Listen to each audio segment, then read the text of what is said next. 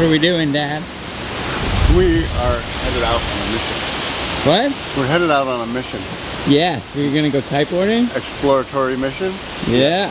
Where are we going? Going to Lake Worth and Little Munyon Island. Woohoo! Kiteboard.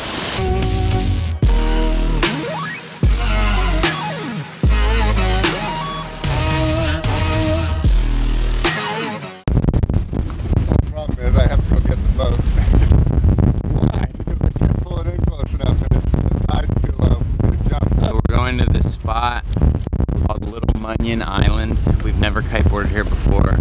I've never done flat water kiteboarding around here. Fun and the wind's not too holey.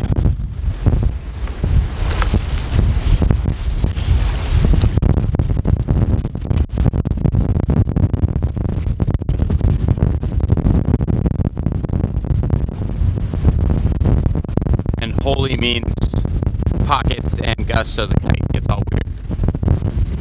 because the holes will come from the wind blowing against the the uh, through and around the buildings. But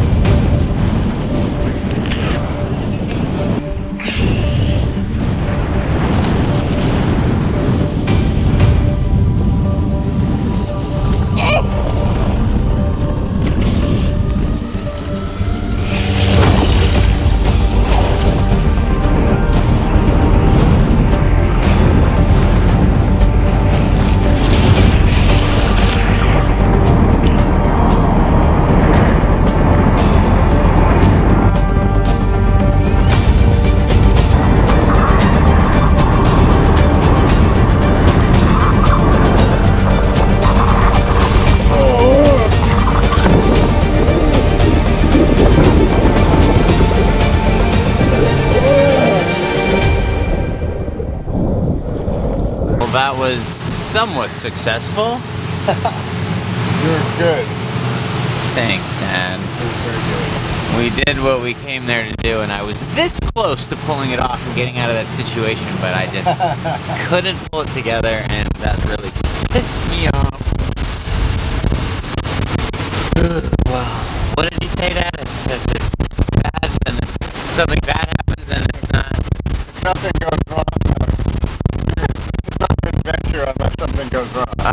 that's it. Not an adventure unless something goes wrong. Bam! Almost had it, did an air, hit my balls pretty hard, and uh, at the chamber. Yeah.